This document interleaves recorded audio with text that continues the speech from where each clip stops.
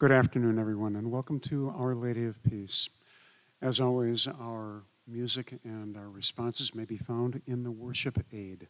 Please stand for the entrance procession.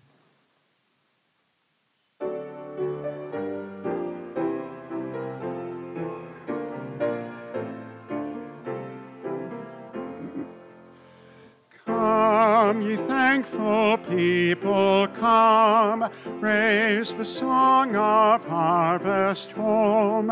All is safely gathered in, ere the winter storms begin. God our Maker doth provide for our wants to be supplied. Come to God's own temple, come, raise the song of harvest home. All the world is God's own field, fruit unto God's praise to yield wheat and tares together sown, unto joy our sorrows grown. First the blade and then the ear, then the full corn shall appear. Lord of harvest, grant that we wholesome grain and pure may be. For our Lord our God shall come and shall take the harvest home. For the field shall in that day all offenses purge away, giving angels charge at last in the fire the tares to cast, but the fruitful ears to store in God's garner evermore.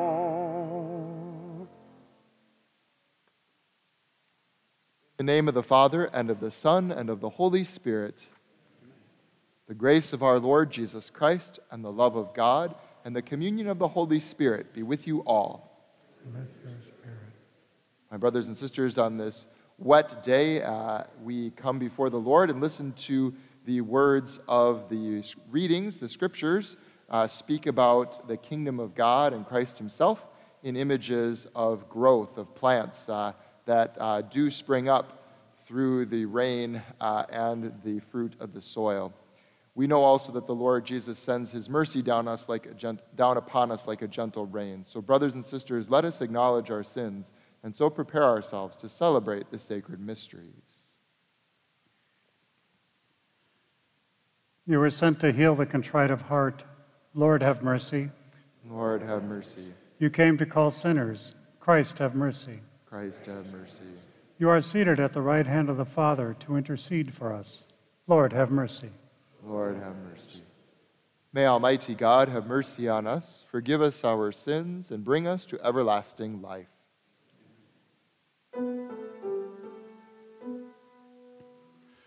Glory to God in the highest, and on earth peace to people of good will. We praise you, we bless you, we adore you, we glorify you, we give you thanks for your great glory. Lord God, heavenly King, O God, Almighty Father, Lord Jesus Christ, only begotten Son, Lord God, Lamb of God, Son of the Father, you take away the sins of the world. Have mercy on us. You take away the sins of the world. Receive our prayer. You are seated at the right hand of the Father. Have mercy on us. For you alone are the Holy One. You alone are the Lord.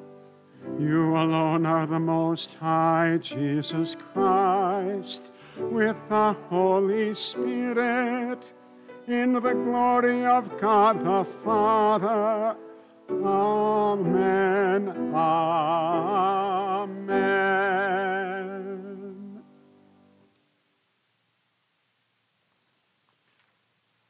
Let us pray. O God, strength of those who hope in you, graciously hear our pleas.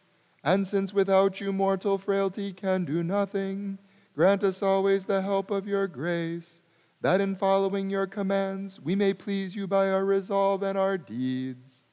Through our Lord Jesus Christ, your Son, who lives and reigns with you in the unity of the Holy Spirit, God forever and ever. Amen.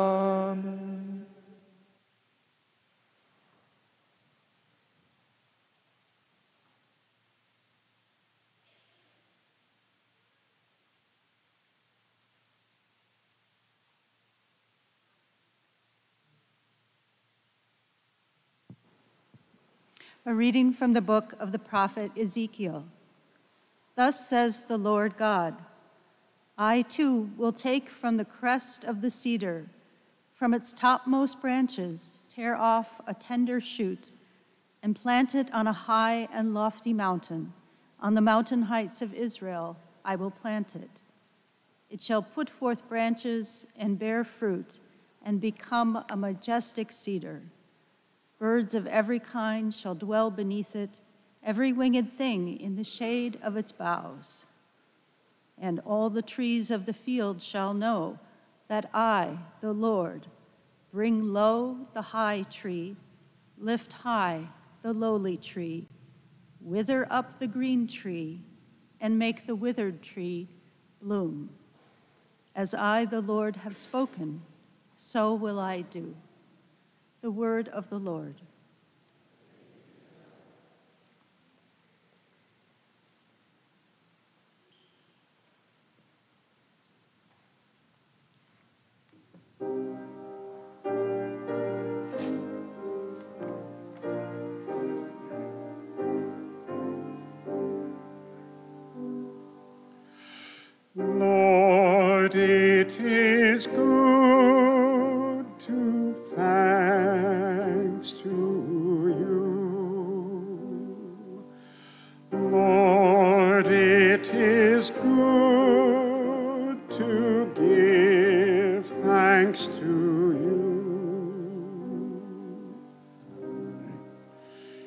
It is good to give thanks to the Lord to sing praise to your name, Most High, to proclaim your kindness at dawn and your faithfulness throughout the night.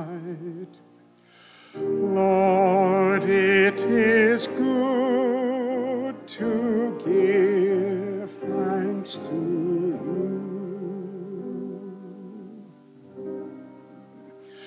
The just one shall flourish like a palm tree, like a cedar of Lebanon shall he grow. They that are planted in the house of the Lord shall flourish in the courts of our God. Lord,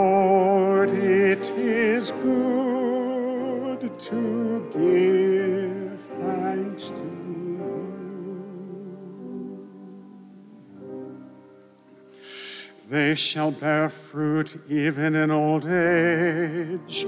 Vigorous and sturdy shall they be, declaring how just is the Lord, my rock, in whom there is no wrong.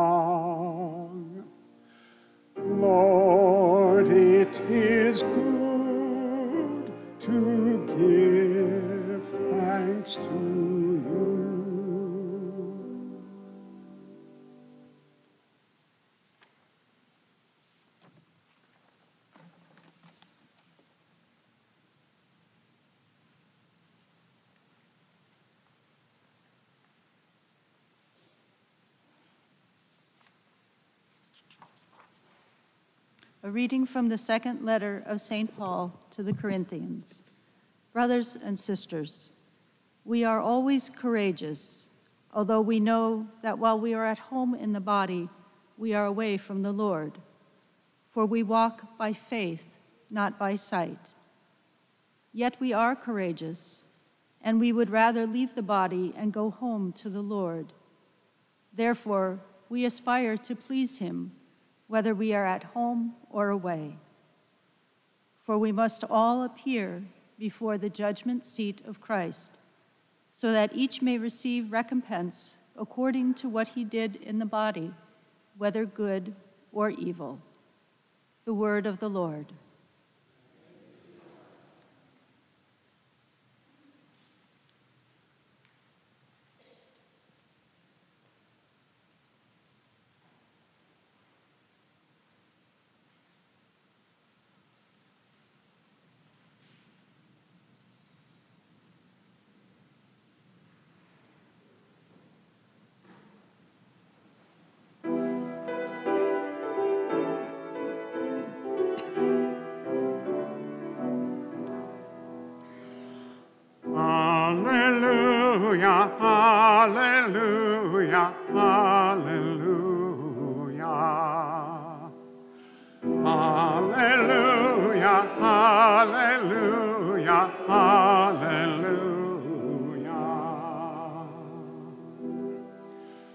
The seed is the word of God, Christ is the sower. All who come to him will live forever. Hallelujah, hallelujah, hallelujah.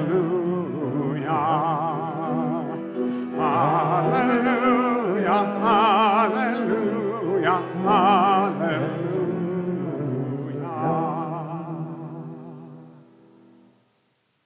The Lord be with you. A reading from the Holy Gospel according to Mark. Jesus said to the crowds, This is how it is with the kingdom of God. It is if a man were to scatter seed on the land, and it would sleep and rise night and day, and through it all the seed would sprout and grow. He knows not how. Of its own accord, the land yields fruit first the blade, then the ear, then the full grain in the ear. And when the grain is ripe, he wields a sickle at once, for the harvest has come. He said, To what shall we compare the kingdom of God, or what parable can we use for it? It is like a mustard seed that, when sown on the ground, it is the smallest of all the seeds on the earth. But once it is sown, it springs up and becomes the largest of plants and puts forth large branches so that the birds of the sky can dwell in its shade. With many such parables, he spoke the word to them as they were able to understand it. Without parables, he did not speak to them, but to his own disciples, he explained everything in private. The Gospel of the Lord.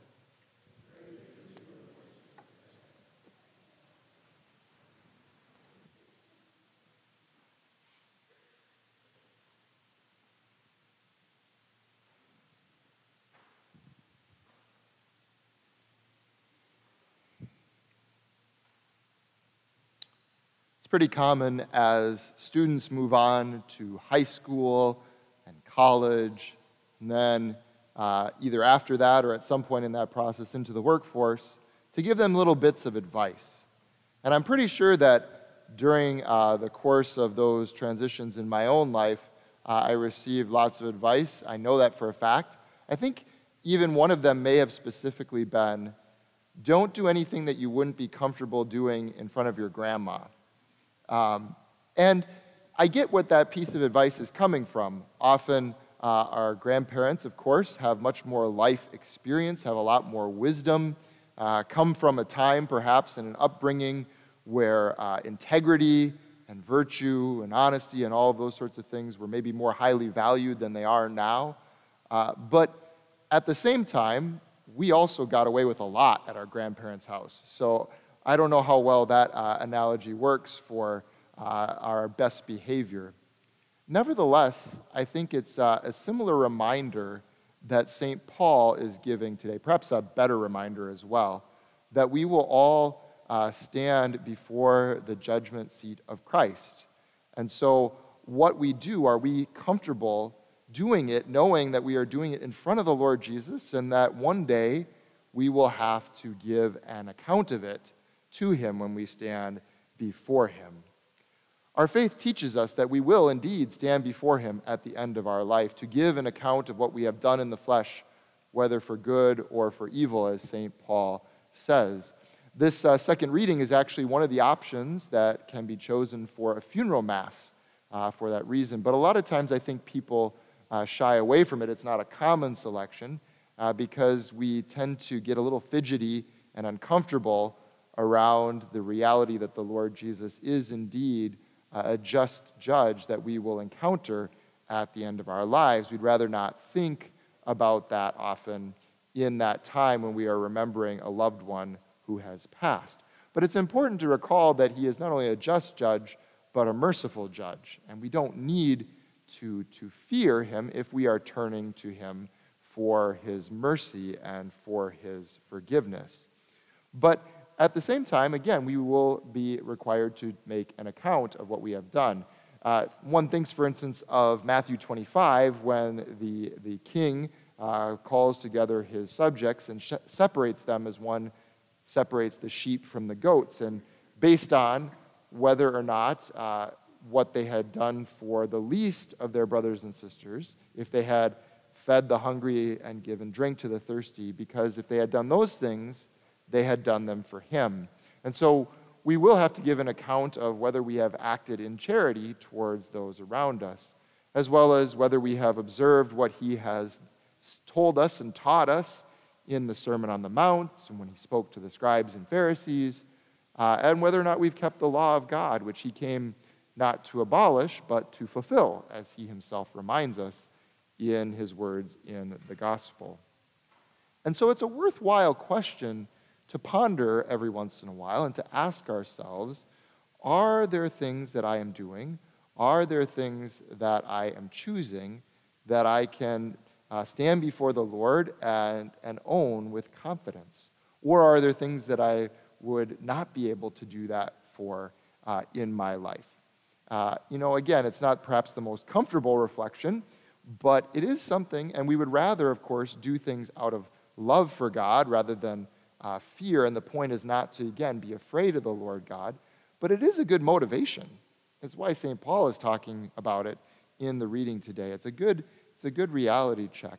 And I think it's also good to, um, as we do this, to speak to the Lord about it as well. Ask Him, what are the things that as I am doing and going about my day to day life, uh, that I can stand with confidence before you, and what are the ones that maybe I need to think twice about? Uh, in my life. And then also to realize that as we do this, uh, to again uh, look forward more than uh, into the past. All of us have things that we need to repent of in the past. Uh, all of us have choices that we made in the past that we wish we had done something different. But the past is something we entrust to God's mercy. And this exercise is really more about looking towards the future. What choices can I make in the future and right now uh, that I uh, can then either stand with confidence or not before the Lord on that day when it is time to do so. Uh, so that all is focused on uh, making sure we're avoiding those things uh, that, as St. Paul says, we would have to give account for that are not good. But he also says, as he mentions it in that reading, that we will give, have to give an account of the good as well. Uh, and why is that? Why would we have to stand before the Lord and receive recompense, as he says, for the good? And the reality here is that we often don't see the effect of the good that we do. The virtuous things that we choose, the things that we can stand before the Lord with confidence uh, and say, Lord, I did this for you, uh, often we don't see the effect of that often when we are faithful to the Lord, it seems like there's no, no payout for that. There's nothing that it gets us, at least in this life. Uh, and so the Lord wants to show us the effect that that has. I think this is partly why St. Paul talks about how we walk by faith and not just by sight. A lot of times we apply that to the mysteries of our faith and the truths of our faith, that we don't see the Lord and walk with him as the apostles did, and so we have to walk by faith.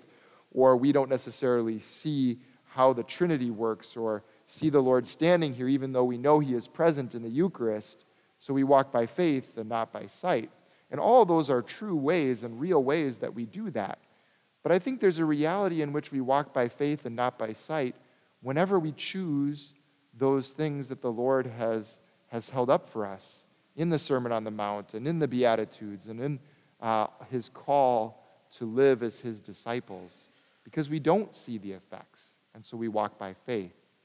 I think this relates to the parable of the mustard seed in the gospel as well. Those choices that we make that are for the good, uh, those choices that we make for virtue and following the Lord in faithfulness to him, they can seem to us like that smallest of seed that is planted in the ground, hidden, as it were.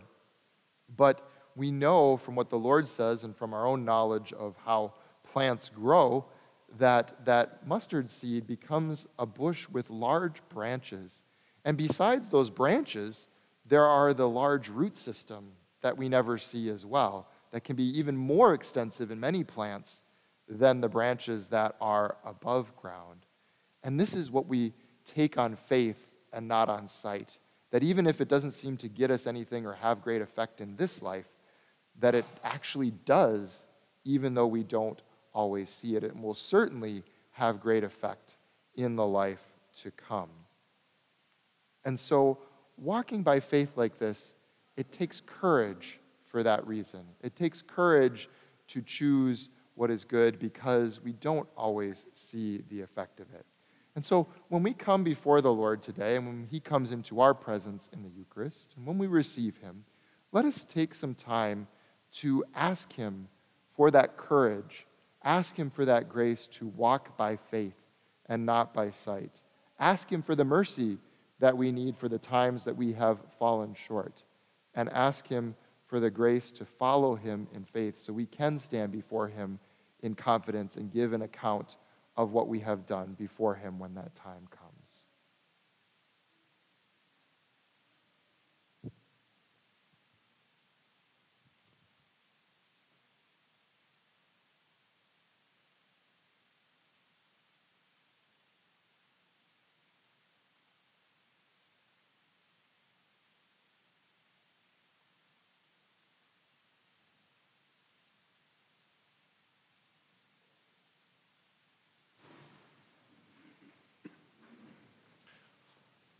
I believe in one God, the Father Almighty, maker of heaven and earth, of all things visible and invisible.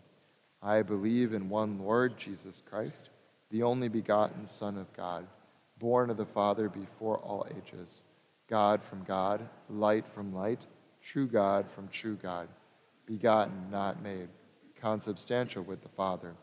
Through him all things were made. For us men and for our salvation, he came down from heaven, and by the Holy Spirit was incarnate to the Virgin Mary and became man. For our sake he was crucified under Pontius Pilate. He suffered death and was buried, and rose again on the third day in accordance with the Scriptures. He ascended into heaven and is seated at the right hand of the Father. He will come again in glory to judge the living and the dead, and his kingdom will have no end. I believe in the Holy Spirit the Lord, the giver of life, who proceeds from the Father and the Son, who with the Father and the Son is adored and glorified, who has spoken through the prophets. I believe in one holy Catholic and Apostolic Church. I confess one baptism for the forgiveness of sins, and I look forward to the resurrection of the dead and the life of the world to come. Amen. Like a great tree with flourishing branches, or like seed quietly growing, so the kingdom of God increases. Let us pray that we may participate in that plan of God's divine providence. For the church, that as the kingdom of God on earth, it may bring redemption to all people, we pray to the Lord. Lord, hear our prayer. For leaders in government and industry, that they may encourage and support farmers and all those who help bring food to our tables, we pray to the Lord. Lord, hear our prayer.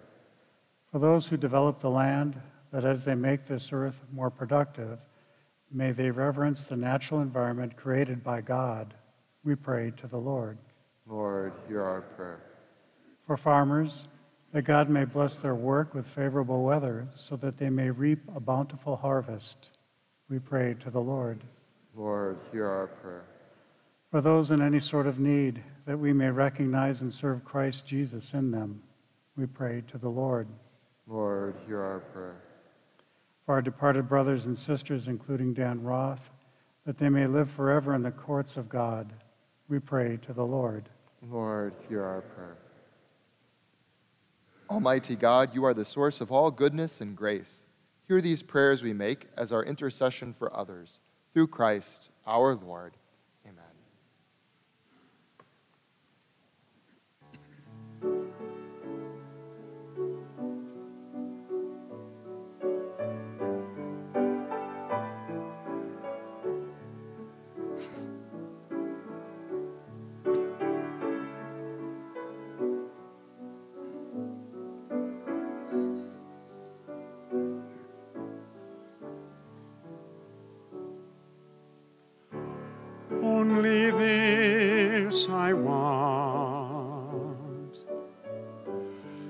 To know the Lord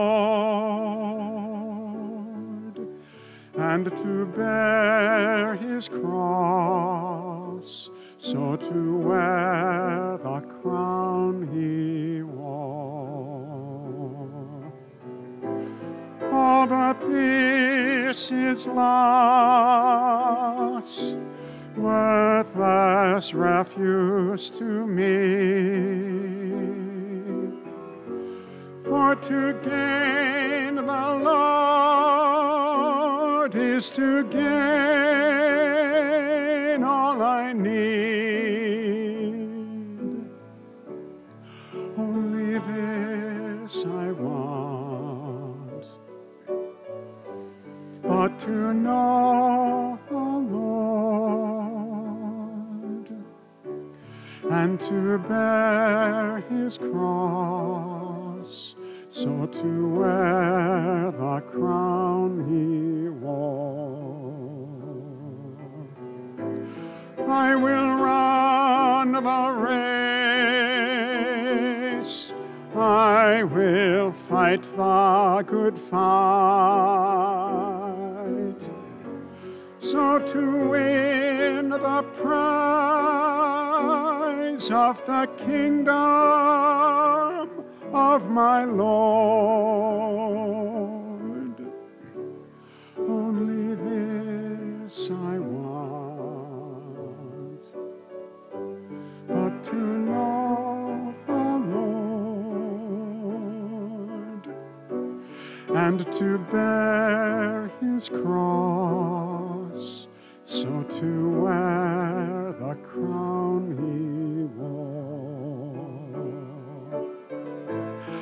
Let your heart be glad, always glad in the Lord. So to shine like stars in the darkness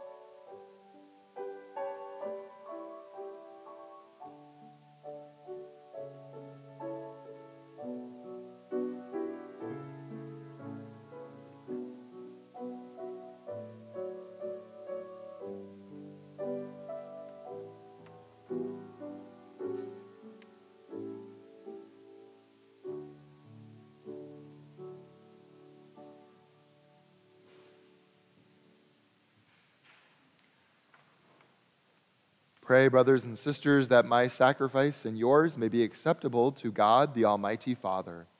May the Lord accept the sacrifice at your hands for the praise and glory of his name, for our good. O God, who in the offerings presented here provide, provide for the twofold needs of human nature, nourishing us with food and renewing us with your sacrament, grant, we pray, that the sustenance they provide may not fail us in body or in spirit. Through Christ our Lord. Amen. The Lord be with you. Lift up your hearts. Let us give thanks to the Lord our God. It is truly right and just, our duty and our salvation, always and everywhere to give you thanks, Lord, Holy Father, Almighty and eternal God. For we know it belongs to your boundless glory that you came to the aid of mortal beings with your divinity, and even fashioned for us a remedy out of mortality itself, that the cause of our downfall might become the means of our salvation through Christ our Lord. Through him, the host of angels adores your majesty and rejoices in your presence forever. May our voices, we pray, join with theirs in one chorus of exultant praise as we acclaim.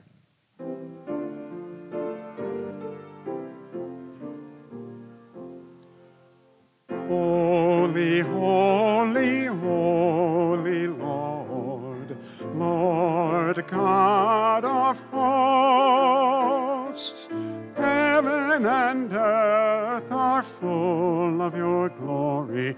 Hosanna in the highest.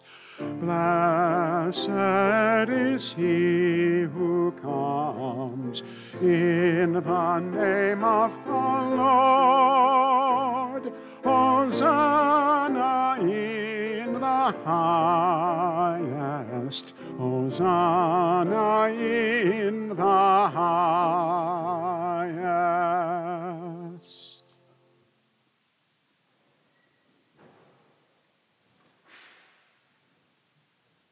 You are indeed holy, O Lord, and all you have created rightly gives you praise. For through your Son, our Lord Jesus Christ, by the power and working of the Holy Spirit, you give life to all things and make them holy. And you never cease to gather a people to yourself, so that from the rising of the sun to its setting, a pure sacrifice may be offered to your name. Therefore, O Lord, we humbly implore you, by the same Spirit, graciously make holy these gifts we have brought to you for consecration, that they may become the body and blood of your Son, our Lord Jesus Christ, at whose command we celebrate these mysteries. For on the night he was betrayed, he himself took bread, and giving you thanks, he said the blessing, broke the bread, and gave it to his disciples, saying, Take this, all of you, and eat of it, for this is my body, which will be given up for you.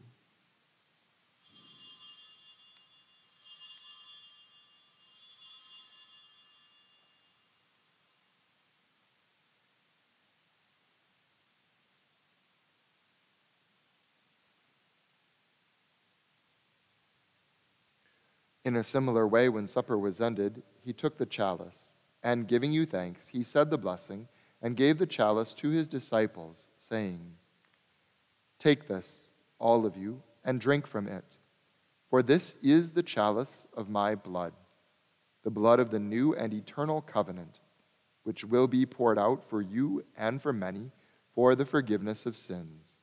Do this in memory of me.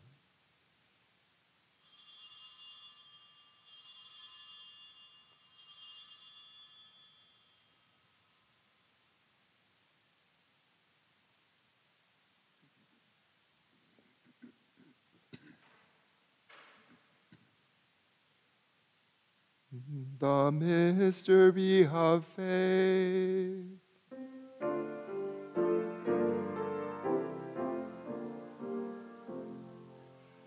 When we eat this bread and drink this cup,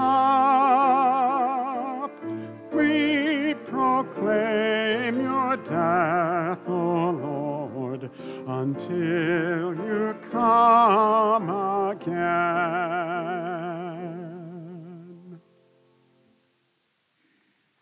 Therefore, O Lord, as we celebrate the memorial of the saving passion of your Son, his wondrous resurrection and ascension into heaven, and as we look forward to his second coming, we offer you in thanksgiving this holy and living sacrifice. Look, we pray, upon the oblation of your church, and recognizing the sacrificial victim by whose death you willed to reconcile us to yourself, grant that we who are nourished by the body and blood of your Son and filled with his Holy Spirit may become one body, one spirit in Christ. May he make of us an eternal offering to you, so that we may obtain an inheritance with your elect, especially with the most blessed Virgin Mary, Mother of God, with blessed Joseph, her spouse, with your blessed apostles and glorious martyrs, and with all the saints, on whose constant intercession in your presence we rely for unfailing help. May the sacrifice of our reconciliation, we pray, O Lord, advance the peace and salvation of all the world. Be pleased to confirm in faith and charity your pilgrim church on earth, with your servant Francis, our Pope, Bernard, our Bishop, Michael, his assistant, the order of bishops, all the clergy, and the entire people you have gained for your own. Listen graciously to the prayers of this family, whom you have summoned before you. In your compassion, O merciful Father, gather to yourself all your children scattered throughout the world. To our departed brothers and sisters, and to all who were pleasing to you at their passing from this life, give kind admittance to your kingdom. There we hope to enjoy forever the fullness of your glory, through Christ our Lord, through whom you bestow on the world all that is good.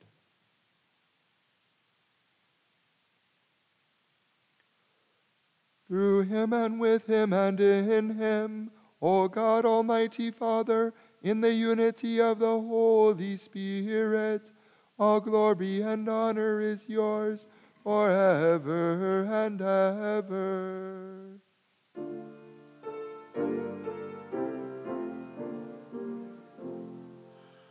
Amen.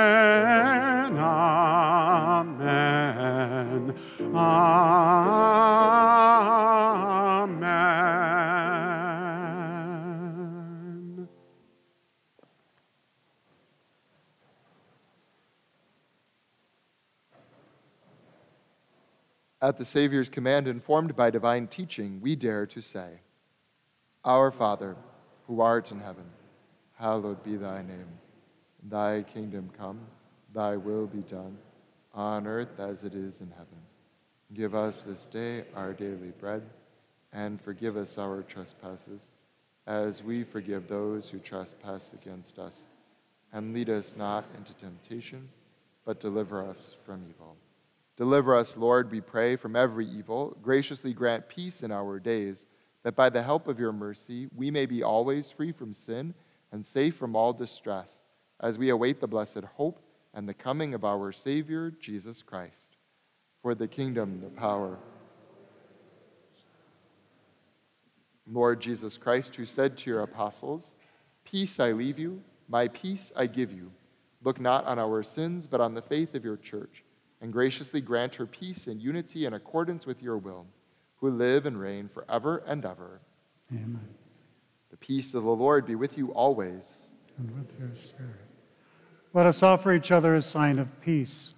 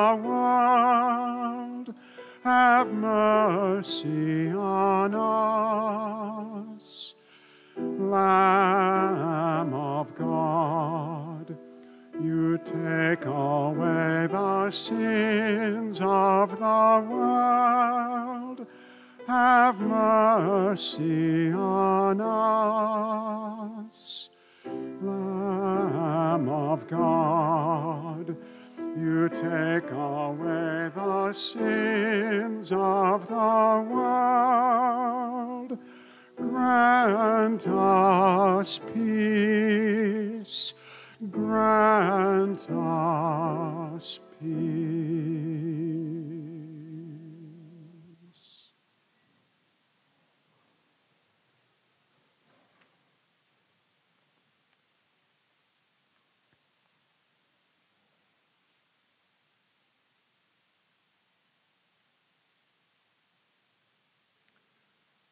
Just a reminder once again, since it's still a new way of doing things for us, uh, for communion today, I will be in the center distributing to both lines, so still make two lines, and I will just alternate giving communion uh, to those two lines.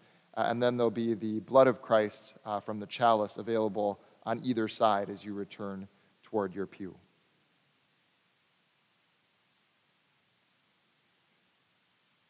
Behold the Lamb of God. Behold him who takes away the sins of the world. Blessed are those called to the supper of the Lamb. Lord, I am not worthy that you should enter under my roof, but only say the word, and my soul shall be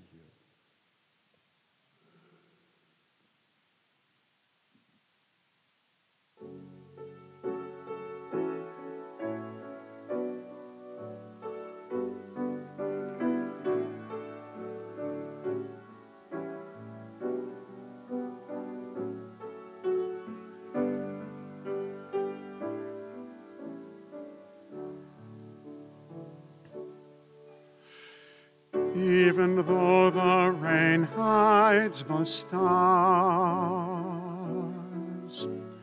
even though the mist swirls the hills, even when the dark clouds veil the sky, God is by my side even when the sun shall fall in sleep, even when at dawn the sky shall weep, even in the night when storm shall rise, God is by my side. God is by my side.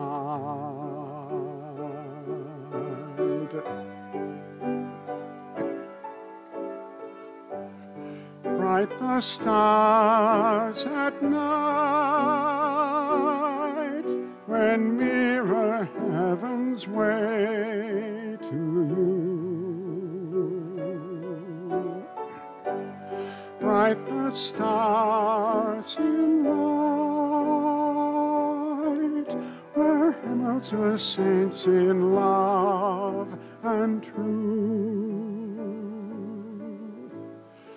Even though the rain hides the stars, even though the mist swirls the hills, even when the dark clouds fill the sky, God is by my side. Even when the sun shall fall in sleep, even when at dawn the sky shall weep, even in the night when storm shall rise, God is by my side. God is by my side. The feast of life, where saints shall gather in deep peace. Deep in heaven's light, where sorrows pass beyond death's sleep even though the rain hides the stars, even though the mist swirls the hills, even when the dark clouds veil the sky, God is by my side. Even when the sun shall fall in sleep, even when at dawn the sky shall weep, even in the night when storm shall rise,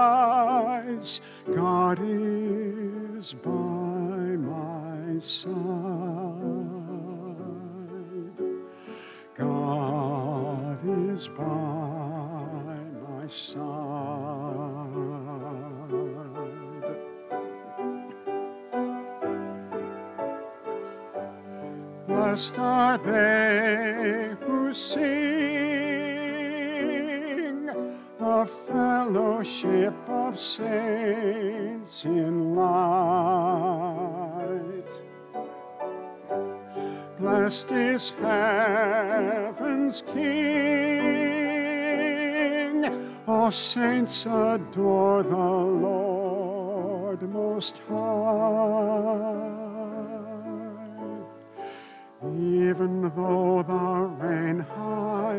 Stars, even though the mist swirls the hills, even when the dark clouds veil the sky,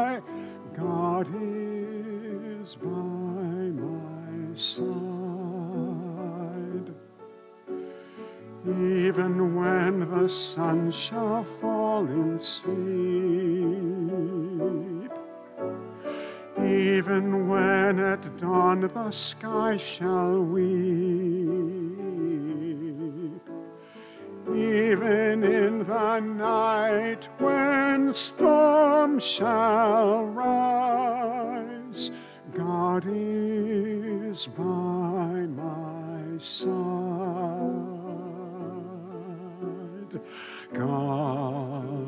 is by my side.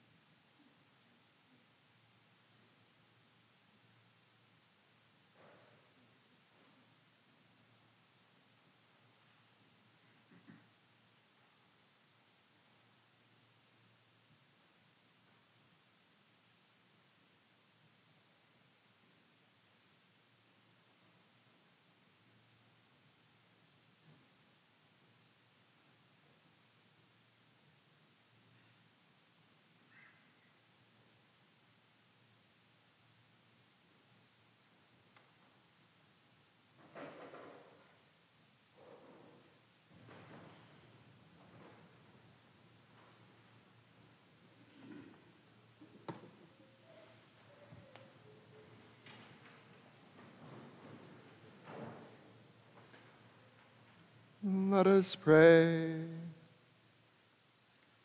As this reception of your Holy Communion, O Lord, foreshadows the union of the faithful in you, so may it bring about unity in your church.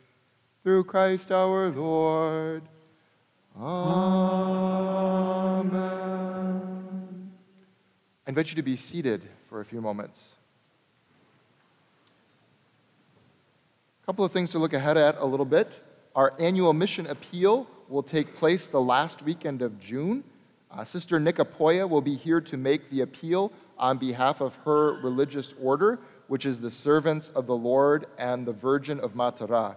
The order was founded in Argentina, and it actually has a presence now, I think, even though it's only about 40 years old, in 45 countries throughout the world. Sister Nicopoya is originally from our area. I can't remember if she's from Minnesota or one of the surrounding states, but definitely uh, this part of the country. And we'll be sharing about the work of their order in the Philippines when she is here. There's a great need there uh, for the work of the sisters, both for human and religious development. So please help me welcome Sister to OLP on June 29th and 30th that weekend. Also, don't forget to mark your calendars for OLP Day on Sunday, July 14th. Join us for Mass at 10 a.m. that Sunday, followed by the parish picnic, uh, barbecue, as well as a game of big base kickball. Sign up to bring your favorite grilled or smoked or barbecued dish, and you're welcome to either prepare it at home or bring your equipment, your grill or your smoker, uh, and cook on site as well if you'd like to do that. And if grilling isn't your thing, we are in need of sides as well. To help us plan, please sign up to bring a dish by Sunday, June 30th. You can do that on the events page of our website, olpmn.org/events. And then Deacon John has an announcement as well. So every spring, we ordain a group of priests, and the Archbishop assigns them to parishes based on the greatest need. And they are assigned to parishes in June and July. They also do an assessment of deacons and move them about in June and July. And I just found recently that I'll be moved to St. Bonaventure Parish effective July 1st. It's uh, as much of a surprise to me as it is probably to you, and I know some of the staff here as well. Um, but that's, that's how it rolls. Mm-hmm. So I've enjoyed my time here and getting to know you very well, very much. And I was really planning on just simply retiring here in a couple more years, but uh, that's not the plan.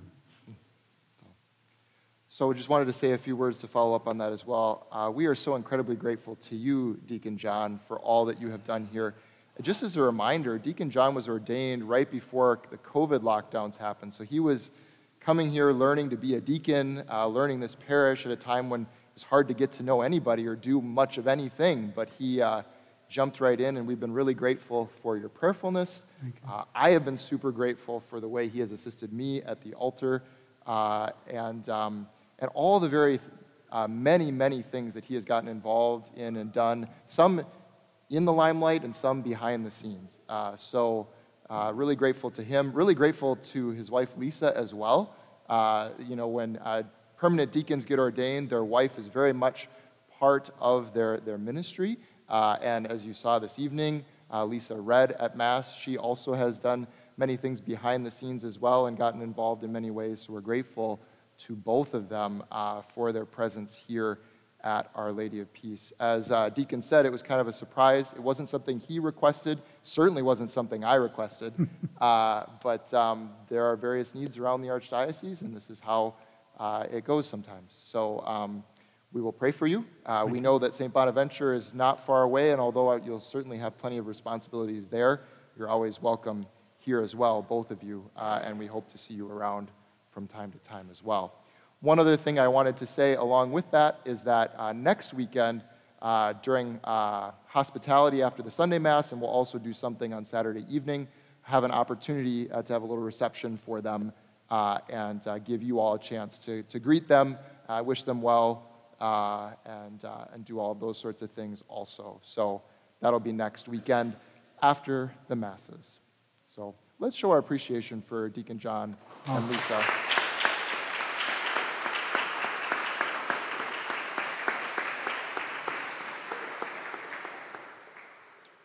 And invite you to stand now.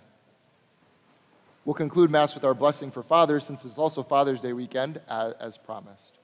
The Lord be with you. And with your spirit. Bow down for the blessing. God our Father, in your wisdom and love, you made all things. Bless these men that they may be strengthened as Christian fathers. Let the example of their faith and love shine forth. Grant that we, their sons and daughters, may honor them always with a spirit of profound respect. Grant this through Christ our Lord. Amen. Amen. And may Almighty God bless you all, the Father, and the Son, and the Holy Spirit. Amen. Go forth, the Mass is ended. Thanks be to God.